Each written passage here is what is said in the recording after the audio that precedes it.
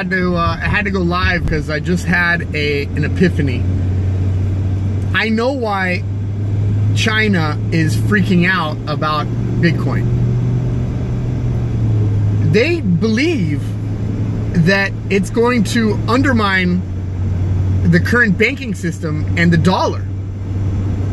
They're holding on to I don't know how many trillions of dollars of our debt.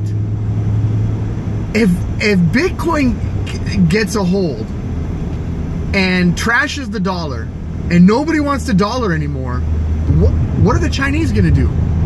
They're owed all these dollars, right? Trillions and trillions of dollars. I mean, this whole house of cards is going to come crashing down because right now there's only two ways that America gets money because it's broke. The Federal Reserve, I'll go into that later, and China. Those are the only two places that you can get dollars from because they're just going to print it up and give it to their banks and their cronies and this is I'm having a call. Um, this is incredible. This is why China is going against Bitcoin.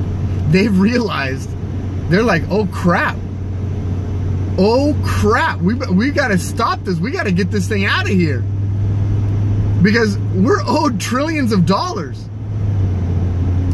What are they going to do? Anyways, that was my, my two cents on, uh, on the subject on trying to figure out why China is banning, you know, all this stuff. All this good stuff. Bitcoin is good.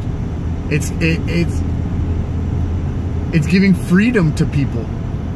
For once, people can have their freedom back and not be under the thumb of some government, some war-hungry government.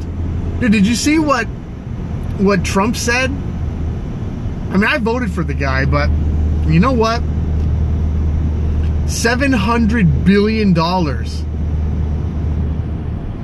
And they approved it for war.